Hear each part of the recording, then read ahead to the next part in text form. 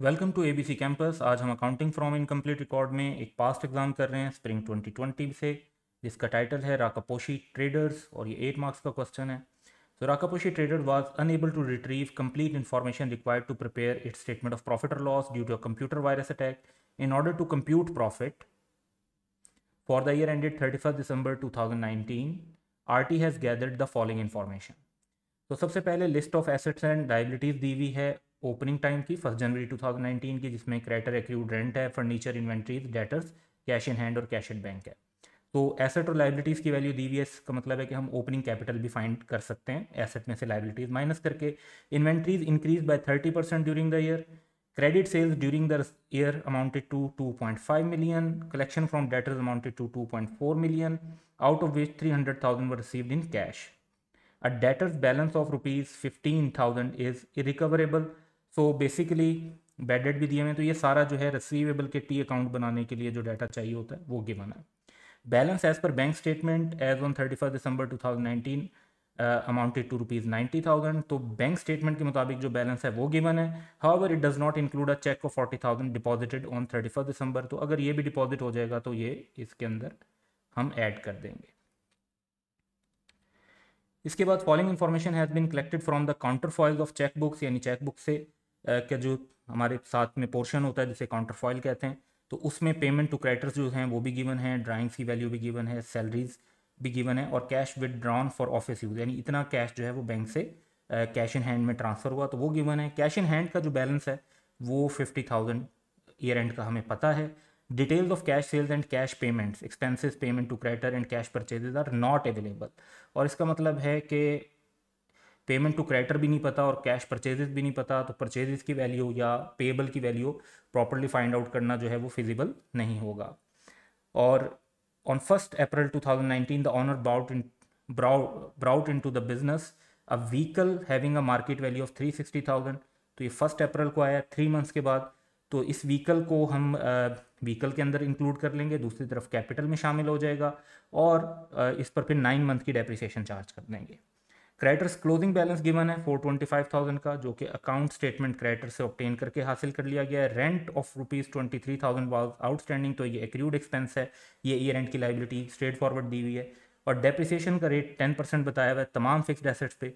तो एक जो है हमारे पास आइटम फर्नीचर फिक्सचर वाला है और दूसरा आइटम हमारे पास जो है वो ये व्हीकल आ जाएगा। सो so, क्वेश्चन की रिक्वायरमेंट ये है कि आपने नेट प्रॉफिट और नेट लॉस कैलकुलेट करना है ईयर एंड का। अब नेट प्रॉफिट और नेट लॉस वैसे तो हम कैलकुलेट करते हैं इनकम और एक्सपेंसेस के डिफरेंस के तौर पर लेकिन ऐसा डाटा अवेलेबल नहीं है जहाँ पर हम सेल्स में से एक्सपेंसेस लेस करके प्रॉफिट की फिगर फाइंड आउट कर सकें। सो so, हम यूज़ करेंगे बिज़नेस इक्वेशन को थोड़ा सा उसकी तरफ़ चलते हैं। सो so, हमें नेट प्रॉफिट और loss for the year ended December thirty one calculate करना है। अब इसके लिए हम जो कॉन्सेप्ट यूज़ करेंगे वो बिज़नेस इक्वेशन का यूज़ करेंगे। बिज़नेस इक्वेशन बेसिकली क्या है?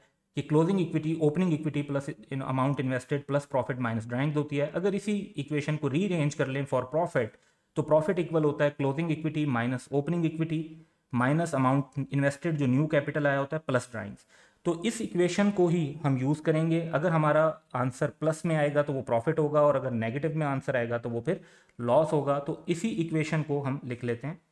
Closing net asset opening net asset additional investment ये दो चीज़ें लेस हो जाएँगी। और उसके बाद ड्राइंग्स ऐड करेंगे तो हमारे पास नेट प्रॉफिट आ जाएगा। सो so, हमें जो इन्फॉर्मेशन चाहिए उसमें क्लोजिंग नेट एसेट्स चाहिए ओपनिंग नेट एसेट्स चाहिए एडिशनल इन्वेस्टमेंट चाहिए और ड्राइंग्स चाहिए तो हम सिंपली प्रॉफिट कैलकुलेट कर सकते हैं। So let's move forward to the question और उसमें से डाटा देखते हैं कि हमारे पास बेसिकली इनिशियल क्या डाटा अवेलेबल है। सो so, सबसे पहले ओपनिंग एसेट्स भी हैं और ओपनिंग लाइबिलिटीज़ भी हैं। इन दोनों का नेट अमाउंट लेकर हम ओपनिंग कैपिटल फाइंड आउट कर लेंगे। फिर ये बताया हुआ है कि इन्वेंट्रीज जो हैं वो थर्टी परसेंट से इंक्रीज़ हो गई हैं। सो so, इन्वेंट्रीज अगर थर्टी परसेंट से इंक्रीज़ हो गई हैं तो ऑलरेडी जो इन्वेंट्रीज थी वो टू हंड्रेड की थी तो टू हंड्रेड में थर्टी परसेंट इंक्रीज़ के बाद इन्वेंट्रीज टू सिक्सटी की हो जाएँगी। उसके बाद क्रेडिट सेल्स बताई हुई हैं और हमें कलेक्शन फ्रॉम डेटर्स भी बताई हुई है कि वो 2.4 मिलियन की है जिसमें से कैश वाली भी है तो it's fine cash and bank combine हम कर लेते हैं। और डेटर का बैलेंस एक इरिकवरेबल भी है। तो हमारे पास ओपनिंग डेटर 170 के हैं। इसकी बेस पर अगर हम रिसीवेबल का टी अकाउंट बना लें तो ओपनिंग बैलेंस 170 सेल्स जो है वो दी हुई है 2.5 मिलियन फिगर इन थाउज़ेंड ले रहे हैं हम। जो कैश रिसीव हुआ है 2.4 मिलियन जो बेड डेट हुए हैं वो 15,000 के।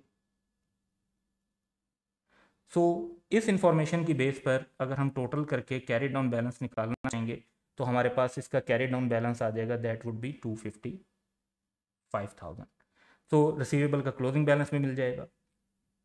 Balance as per bank statement as on thirty first December ninety thousand है।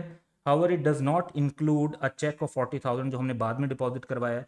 तो ये सिर्फ़ टाइमिंग का डिफरेंस है। जब ये डिपॉजिटेड चेक भी क्लियर हो जाएगा तो बैलेंस हमारा होगा वन थर्टी थाउज़ेंड तो हमने बैंक स्टेटमेंट के बजाय अपनी कैश बुक के हिसाब से बैलेंस लेना होता है तो हम ये वन थर्टी थाउज़ेंड का बैलेंस लेंगे। सो so, आपने अब चार बातें जहन में रखनी है। यहाँ से क्वेश्चन के डाटा में जो हम आंसर में इंकॉर्पोरेट करेंगे सबसे पहले हम ओपनिंग कैपिटल लेंगे फिर इन्वेंट्री की फिगर लेंगे फिर रिसीवेबल की फिगर लेंगे और फिर कैश एट बैंक की फिगर लेंगे। तो सबसे पहले हम जो है ओपनिंग नेट एसेट्स लिख लेते हैं। तो 952,000 एसेट्स थे और 343 लाइबिलिटीज़ थी तो 609 का हमारा ओपनिंग नेट एसेट या ओपनिंग कैपिटल आ जाएगा। अब क्लोजिंग नेट एसेट्स अगर हमने बनाने हैं तो इन्वेंट्रीज की वैल्यू 30 परसेंट इंक्रीज के बाद 260 डेटर्स का अगर हम टी अकाउंट बना लेते हैं तो सेल्स ऐड करके कैश और बैड डेट लेस करके हमारे पास उसका क्लोजिंग बैलेंस 255,000 आ जाता है और कैश एट बैंक में हमारे पास 90 प्लस 40 का जो अनक्रेडिटेड चेक है जब वो क्रेडिट हो जाएगा तो 130 का टोटल बैलेंस आ जाता है। तो नेक्स्ट इन्फॉर्मेशन देखते हैं। नेक्स्ट इन्फॉर्मेशन जो हमारे पास है, उसमें ये बैंक की इन्फॉर्मेशन है, लेकिन इसमें से जो हमारे लिए रेलिवेंट इन्फॉर्मेशन है, वो सिर्फ़ ड्राइंग्स की है, क्योंकि बाकी पेमेंट टू क्रेडिटर्स तो हम तब यूज़ करते, अगर हम पेबल से परचेजेस वगैरह फाइंड आउट कर रहे होते, या इनकम और एक्सपेंस बना रहे होते तो हम इन वैल्यूज़ को भी कंसिडर कर रहे होते। इसके बाद जो हमारे पास और रेलिवेंट इन्फॉर्मेशन है, वो है कैश इन हैंड की। कि फिफ्टी थाउज़ेंड का कैश इन हैंड है, बाकी डाटा नहीं भी है तो हमें क्लोजिंग एसेट ही चाहिए, हमें ये फिफ्टी थाउज़ेंड की फिगर चाहिए और drawings two seventy five thousand और उसके बाद ऑनर की तरफ़ से बिज़नेस में व्हीकल आया है थ्री सिक्सटी थाउज़ेंड का तो ये हमारे क्लोजिंग एसेट में भी शामिल होना चाहिए, लेकिन इसकी डेप्रिसिएशन आगे बताई हुई है तो वो भी लेस होगी। तो अभी हम 360 लिख लेंगे, बाद में डेप्रिसिएशन लेस कर देंगे। और जो ये अमाउंट है, ये कैपिटल के अंदर भी ऐड होगी। तो वंस अगेन हमें चार इम्पैक्ट्स लेने हैं, पहला इम्पैक्ट ड्राइंग्स का, दूसरा इम्पैक्ट कैश इन हैंड का तीसरा इम्पैक्ट जो है व्हीकल का और फोर्थ इम्पैक्ट इसका बेसिकली होगा कि ऑनर की तरफ़ से भी तो ये व्हीकल जो है इनकॉर्पोरेट हमें करना है। तो सबसे पहले ड्राइंग्स 275 फिर कैश इन हैंड 50 का। उसके बाद जो ऑनर की तरफ़ से व्हीकल आया है, वो ऑनर की एडिशनल इन्वेस्टमेंट कंसीडर होगी 360 की और व्हीकल एज एन एसेट भी हम 360 का रिकॉर्ड कर लेंगे, लेकिन अभी इसमें से हमने डेप्रिसिएशन लेस करनी होगी। तो नेक्स्ट इन्फॉर्मेशन हमारे पास जो है, उसमें क्रेडिटर्स का closing balance four twenty five thousand rent की अमाउंट ट्वेंटी थ्री थाउज़ेंड जो कि आउटस्टैंडिंग है, ये दोनों चीज़ें लाइबिलिटीज़ में शो हो जाएँगी और डेप्रिसिएशन टेन परसेंट पे चार्ज करनी है। तो ये जो व्हीकल है, इस पर नाइन मंथ की डेप्रिसिएशन चार्ज होगी और इसके अलावा एक हमारे पास आइटम और है दैट इज़ फर्नीचर तो फर्नीचर के ऊपर पूरे हम साल की डेप्रिसिएशन टेन परसेंट के हिसाब से चार्ज कर देंगे। तो अब इन स्टेप्स की तरफ़ चलते हैं।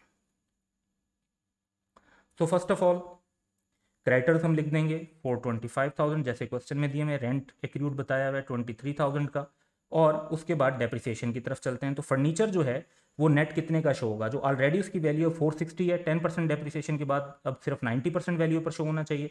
That is four one four vehicle के ऊपर अगर हम टेन परसेंट के हिसाब से नाइन मंथ की डेप्रिसिएशन लेस कर देते हैं तो हमारे पास net value three thirty three आ जाएगी, क्योंकि टोटल ट्वेंटी सेवन की डेप्रिसिएशन चार्ज हो रही होगी हमारी नाइन मंथ्स की। इसके बाद हम जो है अब हमारे पास जो डाटा है वो काफ़ी कंप्लीट हो चुका है तो हम इसको टोटल्स की तरफ़ लेकर चलते हैं। सो so, हमारे पास जो क्लोजिंग एसेट्स हैं उनका टोटल कर लेंगे क्लोजिंग लाइबिलिटीज़ का टोटल कर लेंगे और इससे हमारे पास क्लोजिंग नेट एसेट्स या क्लोजिंग कैपिटल आ जाए। ये क्लोजिंग कैपिटल हमने जो वर्किंग वन में कैलकुलेट किया ये बेसिकली हमने अपनी मेन स्टेटमेंट में शो करना है वर्किंग वन के तौर पे नाइन नाइन फोर अब हमारी सारी जो रिक्वायरमेंट थी वो कंप्लीट हो गई है तो सिंपली क्लोजिंग नेट एसेट्स में से ओपनिंग नेट एसेट और एडिशनल इन्वेस्टमेंट को लेस करेंगे ड्राइंग्स को ऐड करेंगे तो हमारे पास नेट प्रॉफिट की फिगर आ जाएगी, जो कि इस क्वेश्चन की रिक्वायरमेंट थी। So that's all for today have a good day